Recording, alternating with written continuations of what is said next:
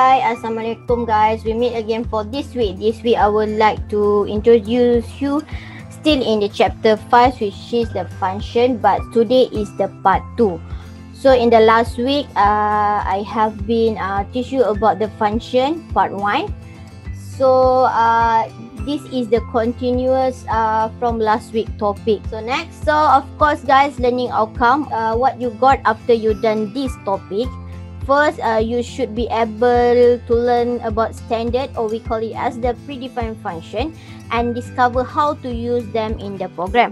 So these objectives uh, i hope that you can achieve it because this uh, predefined function i have been told you last week.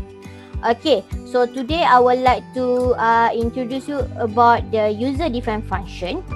Okay so today is all about the user defined function uh, what does it mean about the value returning function including actual and formal parameter? Okay so this is the learning outcome. So next? So next is before i go further to today topics okay? So i would like to recap back about the user defined function that you have been learned last week.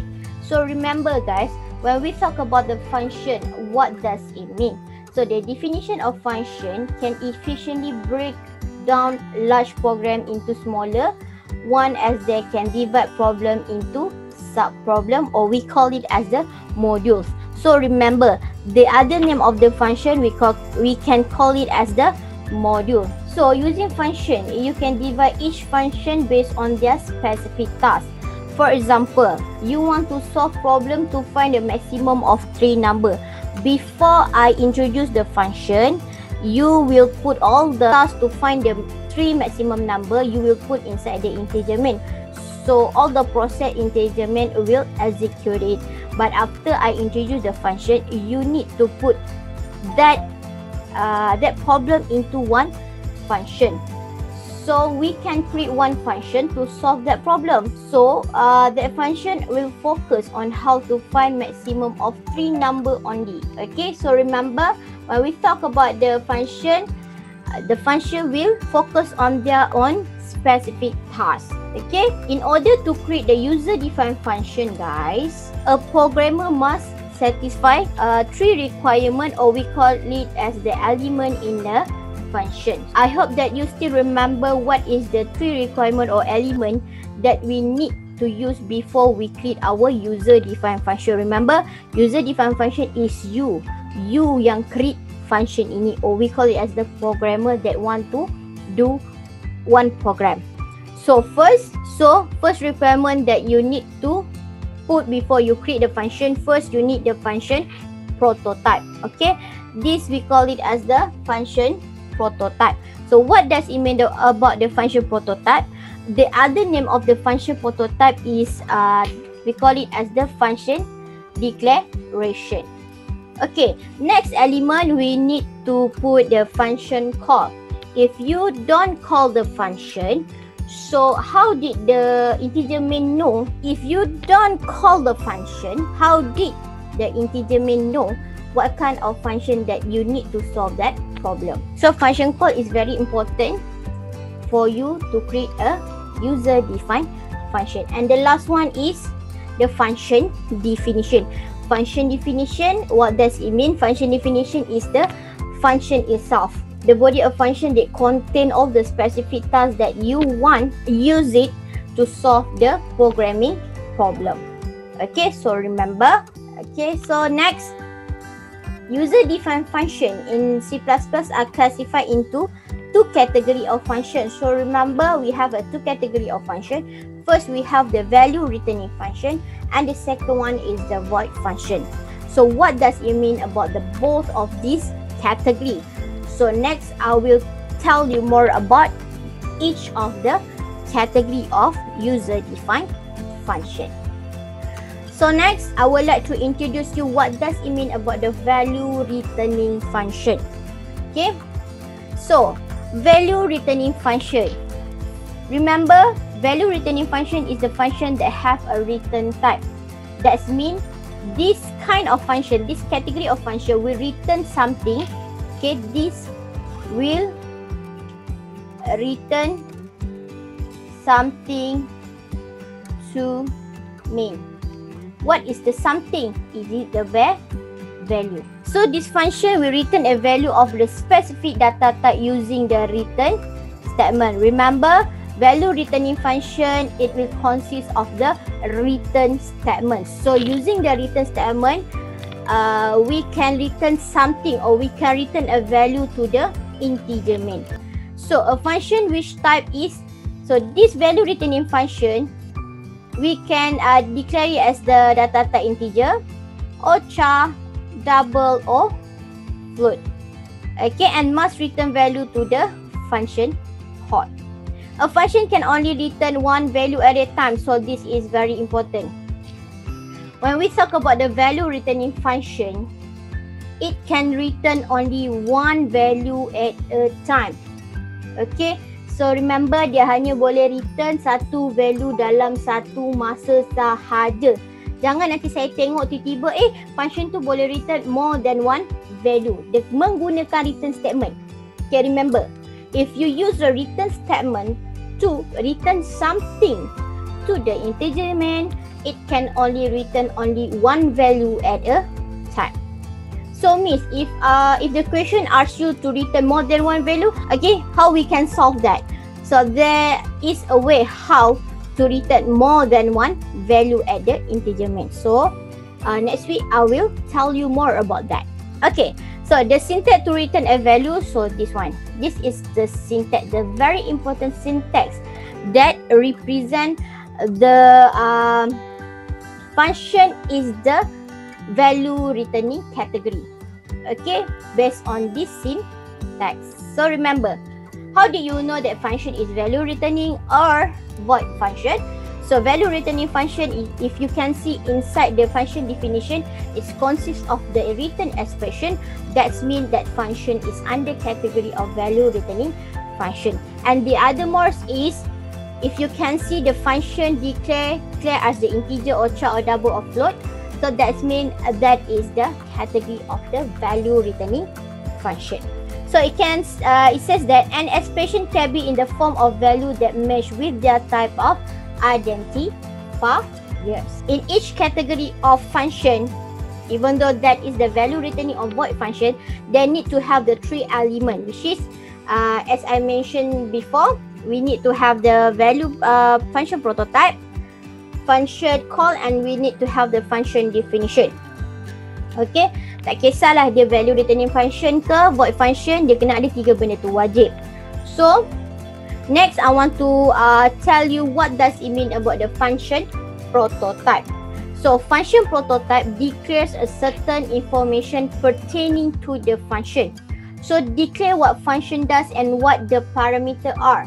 So, this function prototype is like a variable declaration.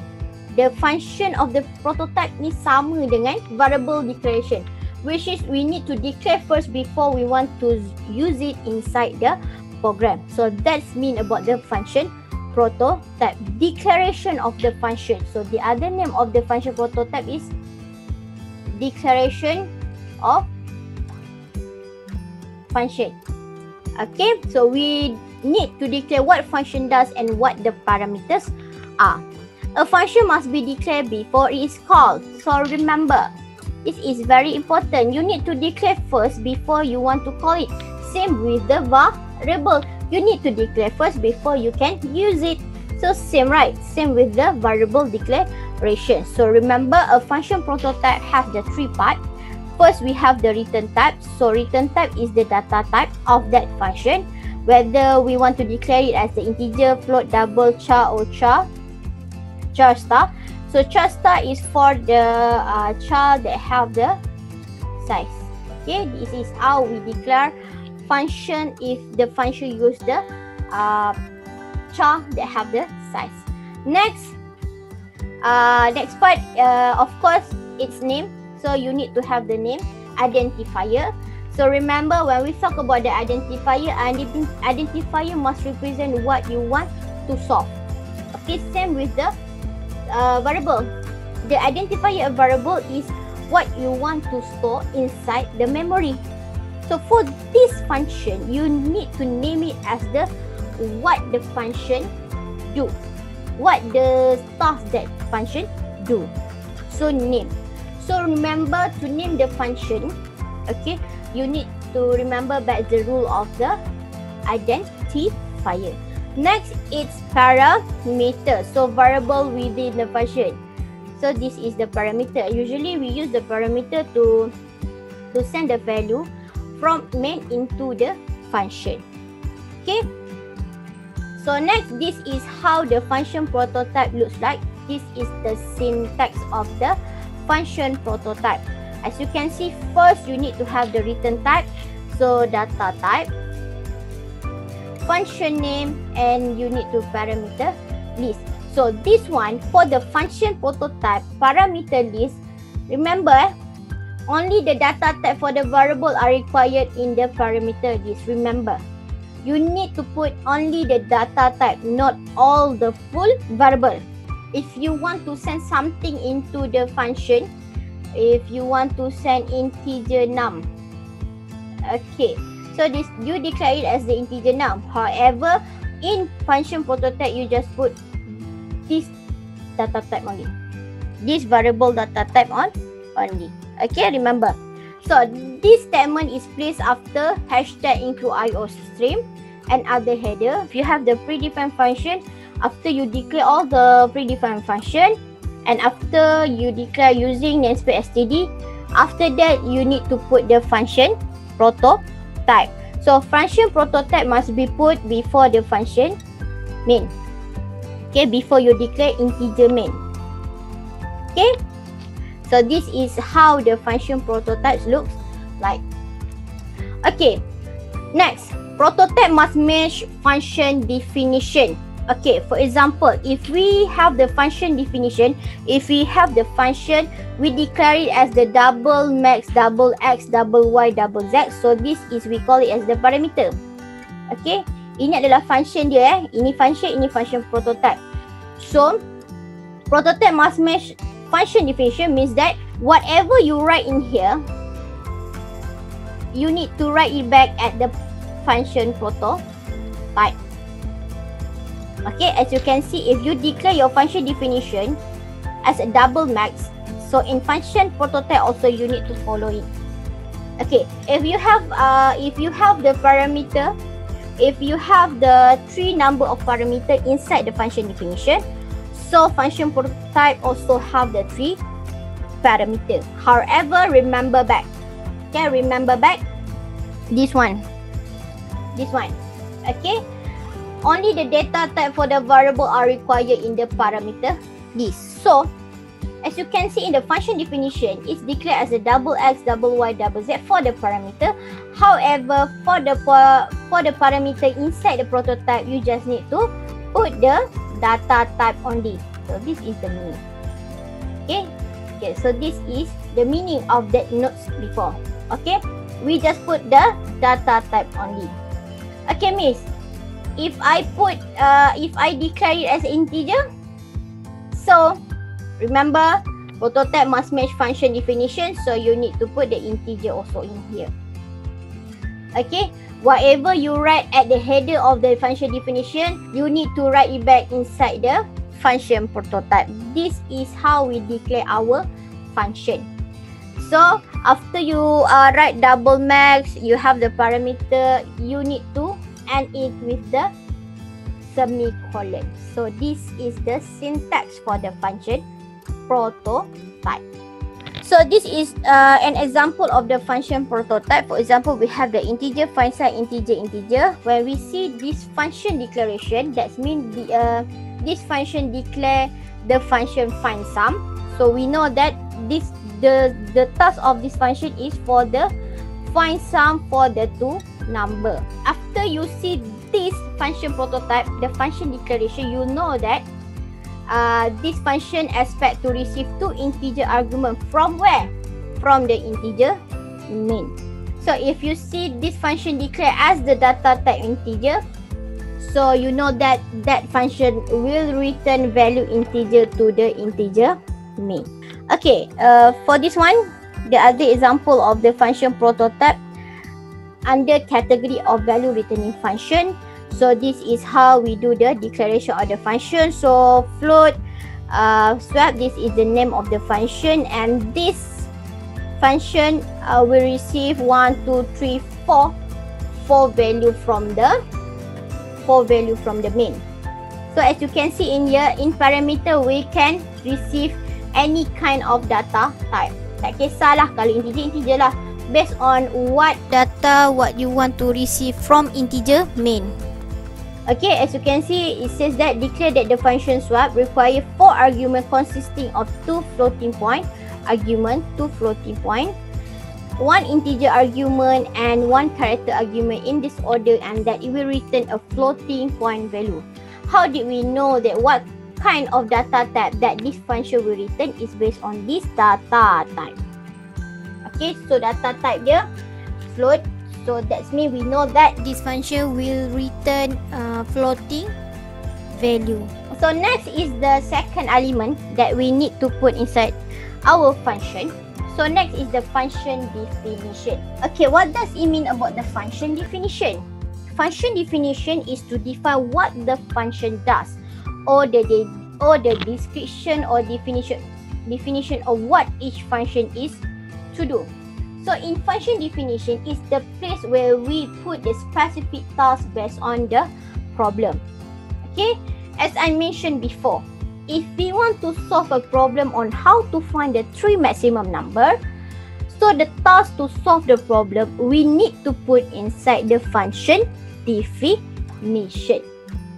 So, is it in our program we can have more than one function? Of course, we can have many function in our program.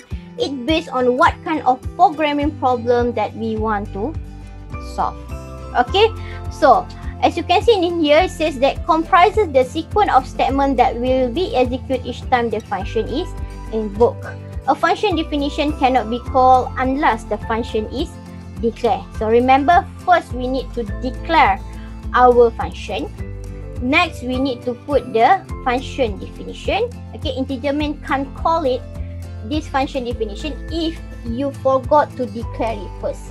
When we talk about the declare, mean that's mean you need to write the function prototype. So next, the function prototype and the function definition must agree exactly on the return type, the name and the parameter. As I mentioned before, what you write inside the function definition, you need to write about the same the same return type, the same name, the same parameter at the function prototype. So that is mean about this point. Okay, you need to exactly. Maksudnya, apa yang awak tulis dekat kepala function definition ni itu yang awak salin balik dekat function prototype. So, the only difference between the function prototype and the function header is a semicolon. As you can see before in here. Okay. So, this is the differentiate between the function prototype and function definition. Okay the differentiate between function prototype and function definition is only this one. The the data type, the name, the parameter is same. However, the the difference between both of these is this one. For function prototype, you must end it with the semicolon. However, for the function definition, you you no need to put the semicolon. Okay, remember this is the difference between both of it.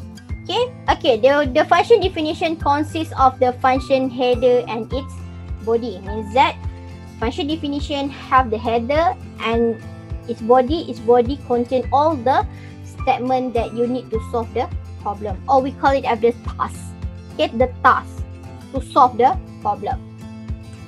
Okay the header is exactly like the function prototype. Mesti sama. Okay except that is contain no terminating semicolon. Ni different dia. Okay the header mesti sama. Okay, apa yang you tulis dekat kepala function itu yang awak copy dekat function prototype. Okay, ada orang tanya saya miss kalau saya buat function definition later baru saya buat function prototype is it okay okay tak ada masalah okay you tinggalkan after you buat uh, after you write using namespace std if you not sure what kind of function that you need to write inside your uh, program so you can leave it blank first. Okay, tinggalkan kosong dahulu kat bahagian tu. Better you can fill it based on the function definition that you have done right inside your program. So this is how we uh, write our function definition. So first you need to have the return type. Okay, if the question asks you to return something to the main, that's mean that function definition is under category of the value returning function. If the value returning function, you should have the return type. What kind of return type means? It can be anything, any any data type. It can be the integer, it can be the double, float, char. Later, I will tell you how we can know the data type of this function definition. Uh, after you write the return type, the second thing that you need to write is the function name. So remember, function name must be represent what kind of specific task that function will solve. Okay, jangan you pergi letak function name x, y, z, no. Okay, ataupun kalau function tu uh, untuk kira summation of two number, you need to name it as the find sum. Nama tu melambangkan apa yang dia buat. Okay, followed by the parameter list. Parameter list ni based on the what kind of data that this function need. For example, if this function want to find the three maximum number okay, dia nak cari maximum number untuk tiga nombor so apa data yang diperlukan daripada main sebab main yang akan minta data itu betul tak so main kena hantar data itu so what kind of data yang dia nak so of course lah parameter list ni adalah integer num1 integer num2 integer 6 3. Okay, ni maksudnya parameter. Argument.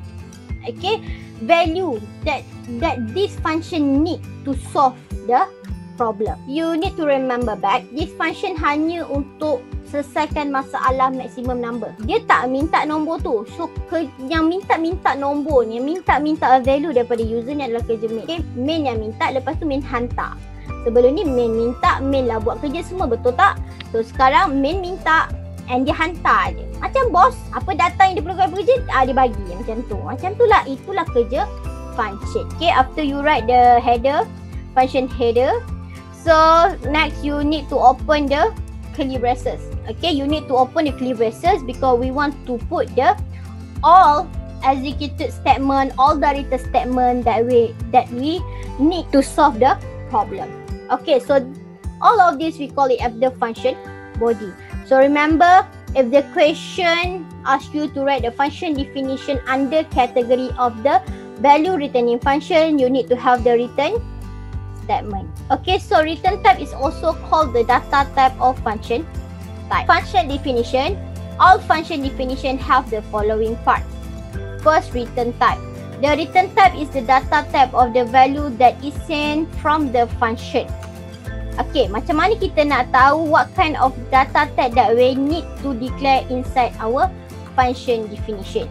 So remember, return type ni is based on the based on the value that you want to return to the main. Okay, contohnya macam ni lah. Okay ni, return statement ni. Kalau you declare kat sini contohnya dia nak maximum 6. You declare it as the integer max okay for example so you need to return max into the main function.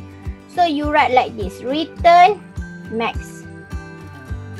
Apa maksud return type is, of, is also called the data type of function type. Maksudnya sekarang return type of this function definition bergantung kepada return ni.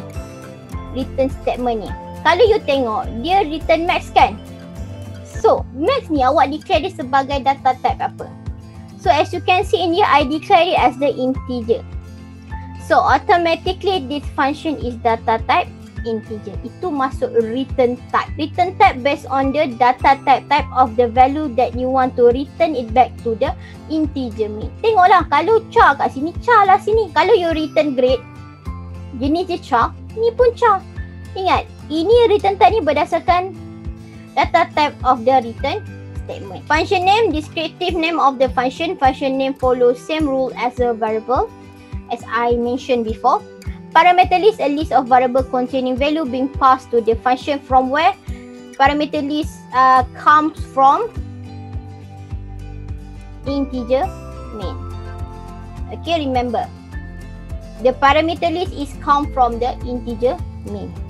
Next, we have the function body, a set of statements that perform the function task includes in a set of the braces. Please remember, if you write the function definition, you need to put the open curly braces and close it with the curly braces also. So we want to make sure all the tasks we put inside the body of that function. Okay, next. So next is show how to write our function definition, the syntax. Okay, first, okay, this is the example one. First, you need to write the return data type.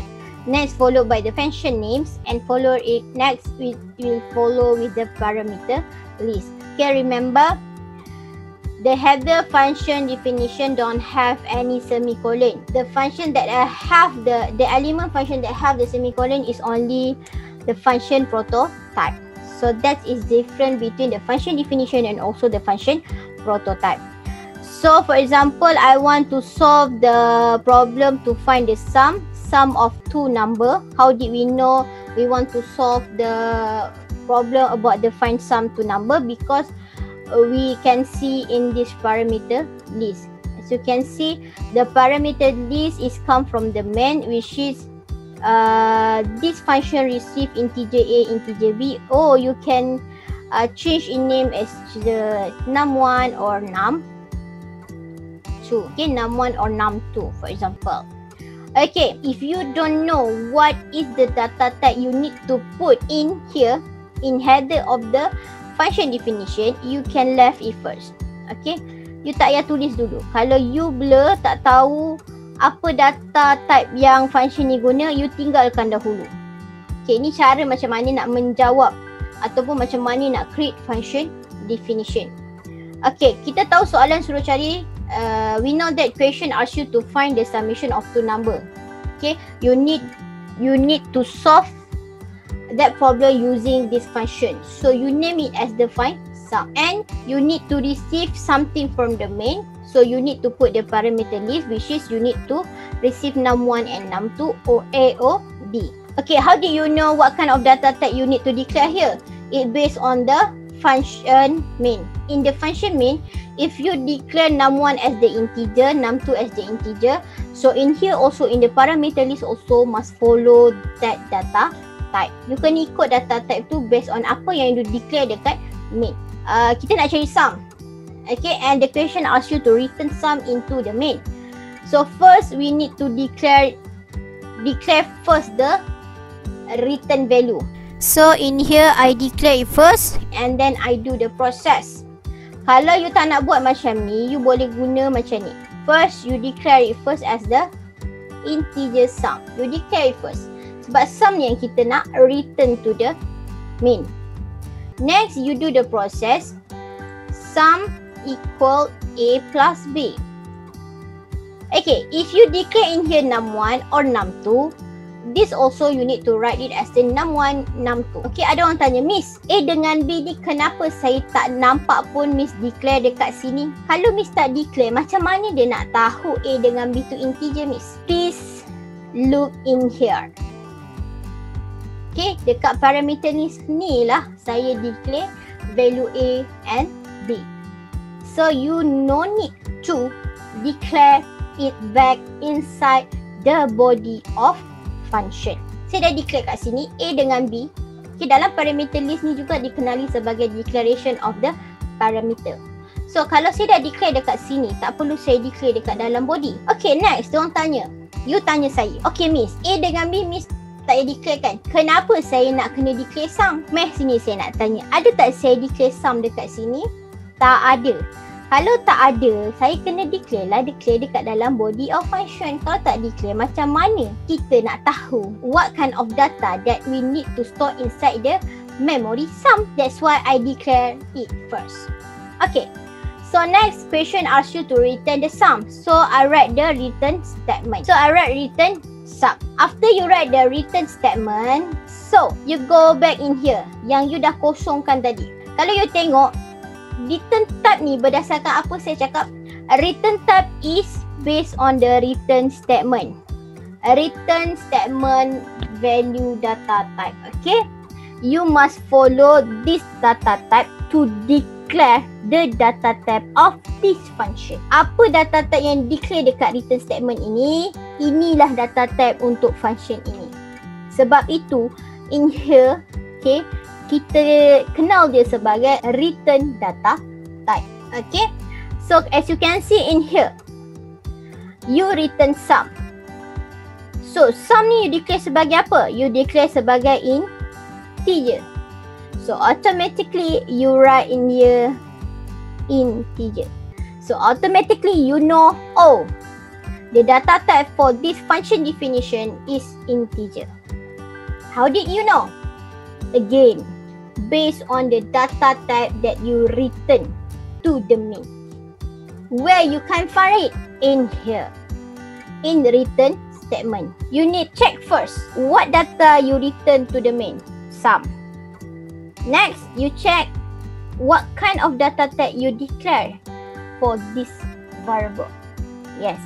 After you got the data type, then you write it in the header of the function definition. Okay guys, so next is the example 2. So as you can see in this example, okay, return data type for this function saya tinggalkan kosong. So this is how if you not sure what data type you need to declare for this function definition, so you can uh, left it, okay? Left it first. Okay, tapi jangan tinggal untuk selama-lamanya. Okay, okay, as you can see in here, I name this function as the find group.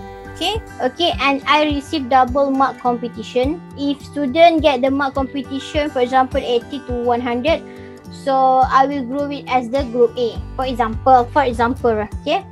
So then I uh, declare char group because I want to return group. Okay, when we talk about the char, char will return the single alphabet, single character only. Okay, I declare char group. So I do the uh, task okay for this function. So I write if mark competition more than 80 and and mark competition less than 100 So I group it as a A. Okay, saya groupkan dia sebagai A. And then continue lah sampai lah berapa banyak yang you nak. Okay, and then I return group. Okay guys, as you know, this uh, value returning function will return group to the main. Okay, so based on this written statement, automatically I know what is the data type for this fun function. So first, how did we uh, how did we do that? First, you see written statement. So I I want to return group to the main. So group I declare as the char. So that's why this function definition I write the data type as a char. Okay, itu cara macam mana kita nak bagi data type for the function definition. Okay, so macam itulah cari kat return statement dulu tengok dia return apa, you return apa. Lepas tu you tengok balik, you return dia sebagai, uh, you declare dia sebagai apa. Kalau char, char lah kat sini. Okay, very easy. Okay, where you put this function definition. Okay, function definition you need to put it after you close your main function body. Okay, you kena letak bawah function main. Lepas you tutup braces of function main, ah lepas tu baru you write all the function definition. So next is function call. What does it mean about the function call? Calling the function or invoking the function. Okay, that's mean function call is if you want to use that function, we need to call it first. If you don't call it, sampai bila-bila lah function tu takkan buat kerja. Itu maksud dia. So this function call is within the body of the main function or within another user defined function. So function call ni boleh berada dekat main function dan function call ni juga boleh berada dekat function definition. Use a calling statement to tell the compiler to access the function requested. Ni yang saya cakap ni. Kalau you tak panggil function tu macam mana main ataupun compiler nak tahu what kind of function that you need to solve the problem. So to execute a function, it must first be called with the following information. Starting the function name and providing a certain information or parameter. Ha, kat sini lah parameter digunakan. Okay, menggunakan function call ni lah. Function call ni yang akan hantar uh, value dekat function definition. Okay, this is how we write our function call. So uh, first, we need to state the function name followed by the argument list. Example, a value returning function is used in an assignment or in an output statement. Ini adalah cara macam mana function call yang berjenis value returning function. As you know, value returning function will return value to the main. Okay, in main, who will uh, get that value? So in main, we need one variable to cache that value. So untuk dapatkan value itu, kita kena buat dia macam ni. Kalau dekat function definition tu akan return total ke return sum, dekat function main ni, you kena ada penyambut. Ni kita panggil dia penyambut untuk menyambut value daripada function definition. Lepas you write dia penyambut, you kena declare lah penyambut ni. Okay, digit total Okay, you kena letak assignment statement followed by the name of the function that you want to call. Okay, apa function yang you nak call untuk suruh dia cari sum of two number. And then dekat parameter ni you kena statekan the value. You kena hantar value juga kat dia. Ataupun ini value yang diberi oleh programmer. Kalau value tu dapat daripada user, contohnya saya ni contoh eh, in 61 Okay. Cin 62 Ni declare ni. Okay. Now saya nak hantar value yang dekat 61 dengan 62 ni dekat function definition. So apa yang saya kena tulis adalah dekat parameter ni Parameter function call saya kena letak 61 comma 6 Okay, ini cara macam mana kita nak panggil function. Tapi sebabkan dia berjenis value returning function, you kena ada penyambut di hadapannya. Okay, ni. So bila dah dapat nilai yang disambut itu, dia akan display nilai. Ataupun awak boleh buat cara macam ni pun tak ada masalah di mana you display and you panggil function itu. Tapi saya tak galakkan awak guna cara ini. Saya lebih prefer awak guna cara ini. Okay, sila guna cara ini declare first the variable that will cache the value from the function definition. Next later you will display the value. Okay this is the example of value returning function. The full value returning function that consists of the three element of the function which is function prototype function call and function definition. Kalau soalan function ini saya suggestkan selalu kepada student saya sila buat function definition dahulu. Kosongkan dahulu function prototype and kosongkan dahulu integer main. So the position of each element function ni position je. Function prototype you should put it before integer main. So function call you need to put it inside the integer main. For the function definition you need to put it after you close the integer main. Kalau first time kosongkan dahulu sebab maybe you not sure. Selalunya soalan akan suruh awak buat function dahulu. Tinggalkan satu muka surat kosong untuk awak letak integer main dan juga function prototype semua ni. Dekat muka surat lain, you buat dulu function yang soalan suruh. Okay, contohnya macam ni. Soalan suruh create one function. That function uh, will find the summation of two number and return the summation to the main. Itu dia punya question. Okay, you pun write the function definition. So find sum sebabkan dia nak cari two number so auto automatically you know you need to uh, two number from uh, from main. So you declare it as the integer A, integer B. So you open the curly braces and then you write the process. You write integer sum equal A plus B return sum and then you declare this function as the integer based on the return statement. Pas you dah buat function definition barulah you buat function prototype. So remember apa yang you write dekat kepala function itu yang awak salin balik dekat function prototype. Okay, so you copy with the same name, same data type, send the number of parameter with the data type. So as you can see, alright, okay, integer, integer. Find sum, find sum, sama eh. Okay, S kecil, eh, S besar, S besar, sama. Lepas tu dia ada dua parameter. Tapi remember for the function prototype, it just consists of the data type only. So you just write the integer, comma integer. And you need to end with the semicolon. Miss, kalau ada 10 function, so declare ada 10. Yes. So you declare dulu 10. Macam tu. Next, you open the integer main. And then as usual lah, you open the curly braces for the body of the main. Next, you know that this function receive two value from the main. So where you get two value, so main kena minta dekat user. When we talk about the value comes from the user, you need to do the input statement. Before you want to write the input statement, you need to declare the variable first. So that's why I declare integer 6162 total. So next, I ask the user to enter two integer numbers. So I do the input statement. After I do the input statement, I want to send these two value to the function. Ingat, kalau kita nak hantar value ini, kita memerlukan function call. Function call tugas dia adalah memanggil function dan menghantar value. So caranya adalah you kena tengok dahulu function definition tu jenis apa. Kalau function definition tu jenisnya value returning function, So remember you kena letak penyambut di hadapan. Penyambut saya adalah total. Macam mana saya tahu total? Macam mana saya nak tahu itu total me? So you kena tengok balik dekat function definition. You return apa? Sum kan? So nak terima dia adalah total jugalah. Dan data type dapat integer. So you dah kena declare dia sebagai integer. Ada student saya tanya, Miss, kalau saya nak declare nama sama boleh tak Miss? Saya tak naklah nama banyak-banyak. Boleh, tak ada masalah. Contoh eh, contoh kalau you nak namakan dia ni sebagai sum. Tak ada masalah. Kenapa tak ada masalah guys? Sebab once dia dah tutup body ni, dia tak kenal pun sum ni. Sebab itulah sum ni kita kena declare dekat function definition. Ada student saya tanya, Miss, saya kan dah declare sum kat sini kalau guna nama sama Miss. Tak perlulah saya declare sum ni dekat variable uh, dekat function definition itu salah.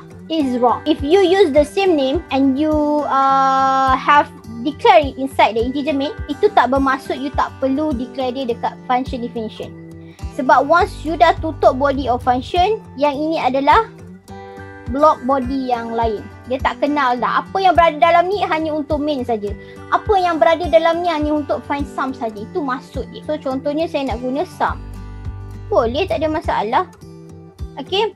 So sum penyambut dia gunakan assignment statement. Ini adalah function call. Okay function call ni saya nak ingatkan beberapa tips kat sini. You kena nama, you hanya panggil nama variable saja without eh jangan letak data type kat sini tak ada data type. Panggil nama saja. Okay buka bracket. Dalam bracket ni parameter kan. You nak hantar apa? You nak hantar dua variable value. So tak perlu letak integer 61, integer 62 tak perlu. Kenapa? Sebab saya dah declare dia dekat ah, atas. Function call hanya letak nama sahaja, nama variable sahaja. Okay, so siap total. So ini saya tukar nama sebagai sub. So ada orang tanya, Miss boleh tak dekat parameter uh, function definition ni saya nak guna nama yang sama dengan main. Contohlah eh, saya nak tukar A ni dengan 6 Y. B ni dengan 6 tu. Boleh ke Miss? Boleh. Tak ada masalah. Okey, tak ada masalah guna nama yang sama. Macam yang saya cakap tadi lah. Diorang berada di di di uh, di department yang lain. Yang ni berada di department yang lain. So tak ada masalah. Maksudnya bentinya lain. Ah macam tu. Now saya nak tunjukkan cara macam mana compiler execute each statement in this program. Okay, first. Okay, first of course compiler akan see the directive. Okay, directive first. So hashtag into IO stream. Okay, using namespace std. Don't forget it. And then compiler nampak function declaration. So compiler knows that oh this function is under category of the value returning function. In main will receive something from the this function. So this function consists of two parameter. That means this function receive two value from the uh, main. So this is how the compiler execute this statement. Next, compiler will go to the integer main. and will go inside the body of integer main. Compiler see this statement. Okay, integer 6162 total. So this is variable declaration. When we talk about the variable declaration, so compiler need to create one memory for each Okay, we have a num1, num2, num3. Next, compiler will execute this statement. Okay, it will ask the user enter two integer number. So for example, user put the number one is 3, number 2 is 4. Compiler will store this value into this memory. 3 and 4. Eh, ni nama dia total eh. Total. Okay, 3 and 4. So next, compiler go to the next statement. So in here, here, compiler see this statement total. So compiler find the function call here. Okay, compiler nampak function call statement kat sini. So apa yang compiler akan buat? Compiler akan cari find sum dan dia akan bawa dua value ini bersama dengannya. Apa value dia? So compiler akan cari balik memori 6162. Oh, the value is 3 and 4. So compiler akan bawa 3 dengan 4. Compiler akan sediakan satu bakul Ni contohnya bakul. Okey, ni bakul. Dalam bakul ni, dia bawa alamat, nama alamat dia find sum dan dia bawa value 3 dan 4 dalam bakul. Okey, kita anggap uh, compiler tu orang lah dia pegang bakul tu. Apa compiler buat? Compiler akan cari kat mana find sum ini berada. So compiler pun berjalan-jalan berjalan-jalan bersama bakul dia, bersama bakul dia dan bersama nilai dia. Nilai dalam bakul tu. Okay, alamat bersama nilai means that bersama sampul ke apa. Dia pun bawa berjalan-jalan, dia cari-cari, cari-cari, cari. Oh, kat sini rupanya function ini. Before dia masuk ke dalam function ini, dia kena check first whether nama dia sama tak. Okay, dia pun tengok. Macam postman hantar barang, kan sekarang musim Shopee right 7766 Shopee Okay, shopping. Uh, before dia nak hantar barang, dia akan tengok alamat tu kat mana. So, dia bawa lah barang tu dengan alamat tu sekali. So, sampai dekat rumah, dia kena make sure kan alamat tu sama tak dengan alamat dekat barang tu. Sama juga dengan ni. Dia akan make sure sama tak. So, dia pun check. Find some, find some. Okay, sama. So, dia pun ketuk pintu find some ni. Hello? Are you there? So, find some ni pun keluar. Okay. Ya apa? Okay, saya nak bagi dua value dekat awak. Value ni main yang bagi. Saya nak bagi dua value. Find sum ni, macam tuan rumah ni, dia pun tanya value apa? So, tiga dengan empat. Before dia nak tiga dengan empat tu, dia akan check first whether what kind of data tu. Data tu sama tak? Sebab tu dia letak dekat sini integer. Integer. Dia nak compromisekan and uh, compromise kan and make sure kan data yang dibawa oleh compiler tu data type-nya sama. Okay, bila dia check, okay betul. So kat sini, kat sini, so owner ni akan create satu memori untuk terima value daripada main. Sebab tu kalau kita nampak integer A, integer B ini sebenarnya variable declaration. So dekat find sum ni, ni rumah find sum eh. Oh, warna hijau. Okay. okay. Dekat rumah ni nama alamat rumah ni find sum. Dekat find sum ni dia akan create satu lagi variable yang diberi nama sebagai A O B. Ataupun kalau awak guna dia sebagai num1 num2.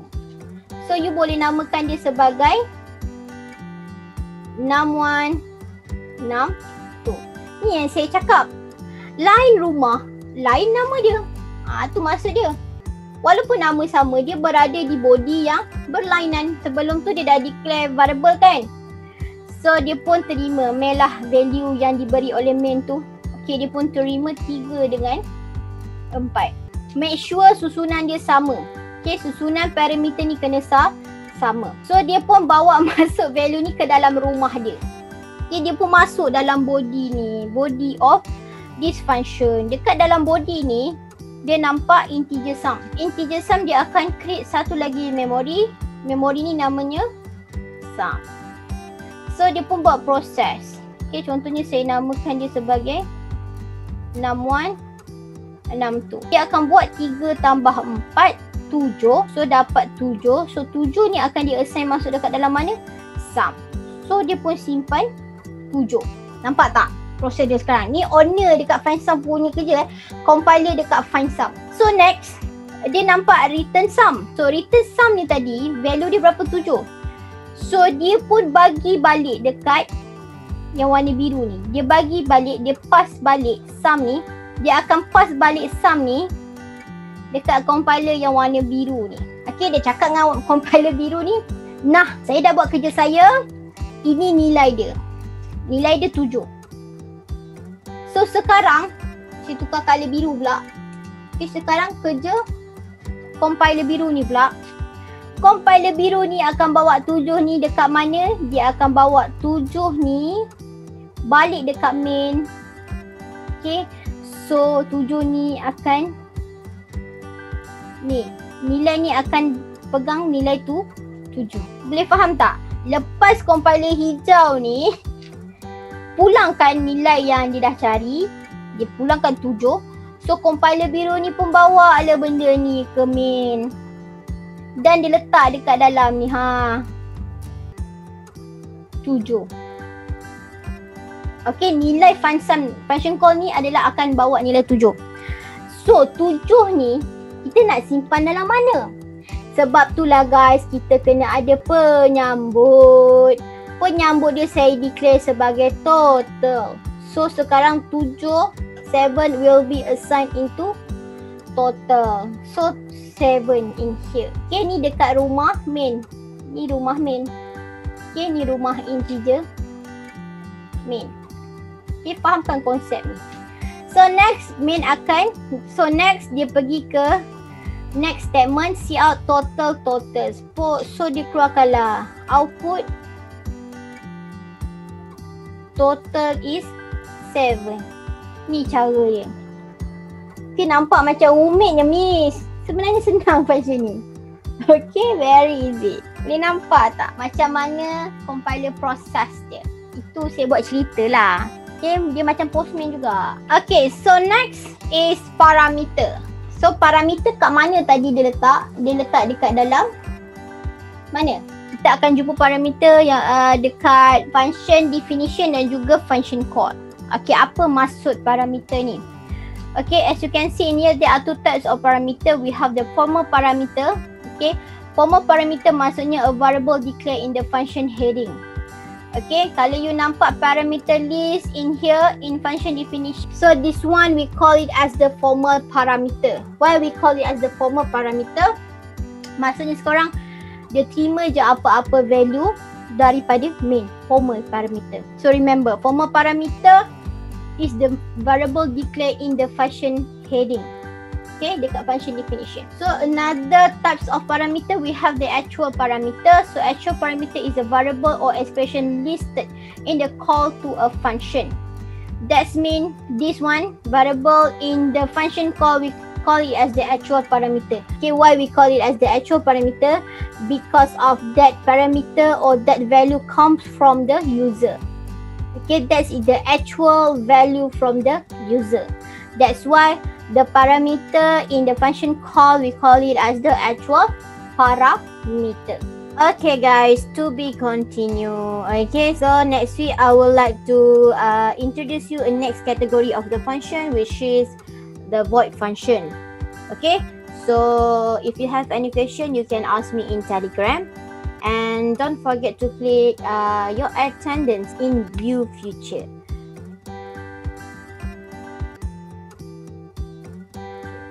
Okay? So that's all for today classes. And don't forget to do tutorial that i have been given you in gcr so that's all. Assalamualaikum